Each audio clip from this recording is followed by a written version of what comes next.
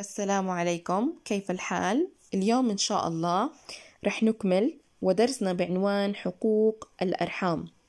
طبعا صلة الرحم مفهوم أساسي نص عليه الدين الإسلامي.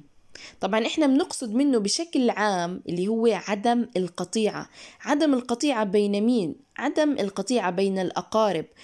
ونحث على زيارتهم. وهذا الخلق العظيم حثنا عليه الإسلام حتى يكون عندنا مجتمع متراحم متعاطف بتسود المحبة والألفة آه، بتنظم العلاقات بين الناس طبعا على هذا الأساس.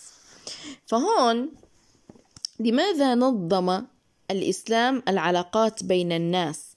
حتى يكون عندي بناء مجتمع متراحم متعاطف تسوده المحبة والأخوة والتضامن. اللهم صل على سيدنا محمد. في عنا كثير من الأحاديث والآيات حثتنا على صلة الرحم لما إلها من رضا الله عز وجل وإلها كمان من أثر عظيم في تماسك المجتمع الإسلامي. طيب مين هم الأرحام؟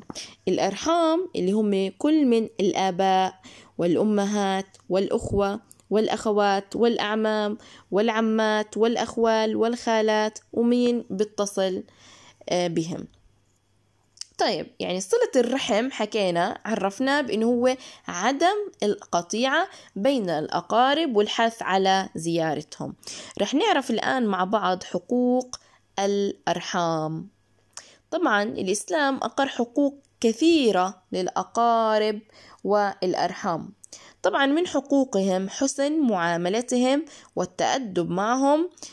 آه، طبعا وجب علينا إن نتأدب معهم. كيف؟ طبعا بالكلام اللين بالاحترام باحترام الكبير بالعطف على الصغير والقول الحسن. ورب العالمين خص الله تعالى الوالدين بمزيد من الصلة بمزيد من البر والإحسان لما ورد في الآية وقضى ربك ألا تعبدوا إلا إياه وبالوالدين إحسانا. فهنا الآية قدمت الإحسان والبر لمن؟ للوالدين. اثنين تفقد أحوالهم وقضاء حاجتهم. يعني أنا لازم إني أسأل عنهم دائما وأتفقد أحوالهم وأحاول قدر المستطاع إني أقضي حاجاتهم. يعني كيف ممكن أنا أبادر في هذا الأمر؟ يعني أتصل بهم الزيارة الدائمة لهم. فهون الحديث ذكرنا فقط قال صلى الله عليه وسلم ابدأ بنفسك فتصدق عليها. يعني مين الأولى؟ الأولى بنفسك. إذا فضل فإن فضل شيء فإن فضل شيء فلأهلك يعني بعد النفس إذا بقي معك شيء مثلا من الأكل والطعام فلمن؟ فلأهلك فإن فضل عن أهلك شيء فلذي قرابتك. مقصود بمعنى الحديث يعني الأقربون أولى بالمعروف. يعني ابدأ بنفسك بعدين بأهلك بقرابتك لحتى حثنا على مين اللي هي. وهكذا يقول فبين يديك عن يمينك وعن شمالك. فهذا بدل على أهمية صلة الأرحام ومساعدتهم ومساعدة أيضا المحتاجين يعني الأقربون أولى بالمعروف فإن بقي ها يعني بعد أهلك فإن بقي معك فللفقراء والمساكين. في عنا أيضا العفو عن المسيء منهم وعدم مقابلة الإحساء الإساءة بالإساءة اللهم صل على سيدنا محمد. يعني أن نعفو عن المسيء ما نقطع الرحم. يعني إذا تكلم مثلا بكلمة غير حسنة ها بغير حسنة أنا ما أقطعه. آه اللهم صل على سيدنا محمد. آه إنه أحرص كمان إنه أتواصل دائما مع الأرحام. والرسول عليه الصلاة والسلام حذرنا من القطيعة الأرحام ومن ذلك أن رجلا قال يا رسول الله إن لي قرابة قرابة أصلهم ويقطعوني وأحسن إليهم ويسيئون إلي. وأحلم عنهم ويجهلون علي. فقال لئن كنت كما قلت فكأنما تصفهم المل ولا يزال معك من الله ظهير عليهم ما دمت على ذلك. نسفهم المل إشارة لأنهم يؤثمون بفعلهم وأنت تؤجر من الله على إحسانك إليهم. آه، بمعنى أن الرسول صلى الله عليه وسلم مدح الواصل. فمدح مين؟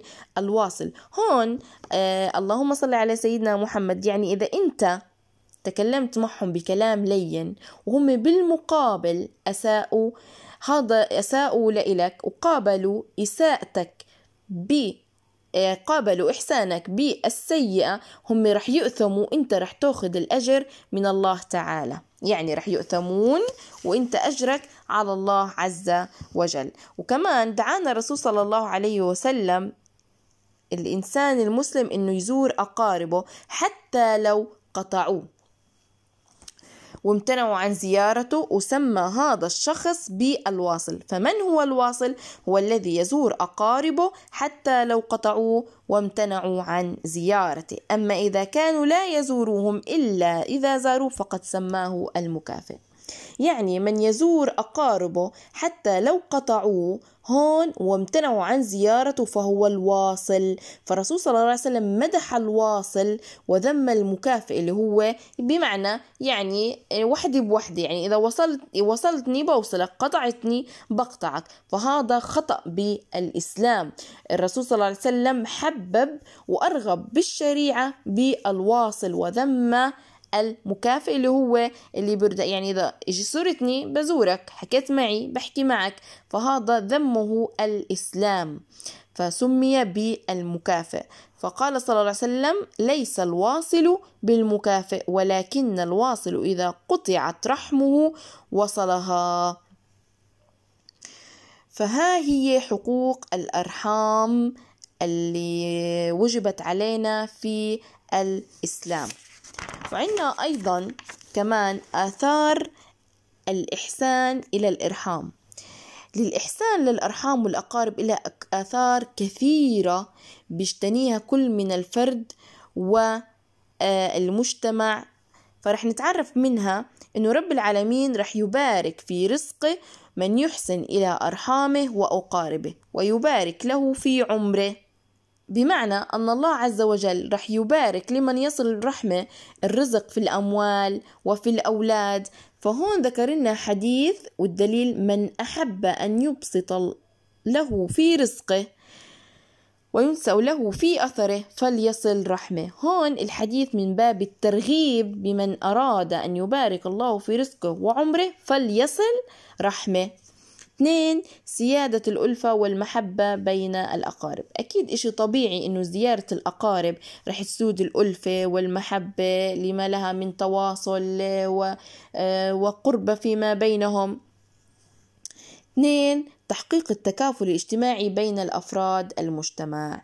يعني إنه حتى الغني بيكفل الفقير من الأرحام ففي عنا تكافل اجتماعي بين أفراد المجتمع.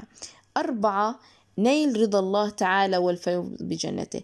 يعني أنه يكون الهدف المبتغى أني أنال رضا الله تعالى. يعني يكون هدفي في صلة الرحم أني أكسب رضا الله عز وجل وأحصل على الجنة. ما يكون هدفي رياء أو يعني مثلا رياء أو يكون هدفي غير غايتي إني أنال رضا الله تعالى. يكون فقط هدفي رضا الله تعالى والفوز بجنته. هيك بيكون معنا درس آه، حقوق الأرحام وتعرفنا من هم الأرحام وحكينا عن آثار الإحسان إليهم وحكينا الفرق بين الواصل والمكافئ وحكينا أنه الإسلام الرسول صلى الله عليه وسلم مدح الواصل وذم المكافئ. وهيك بنكون أنهينا درسنا ومعاكم حل أسئلة الدرس. ويعطيكم العافية.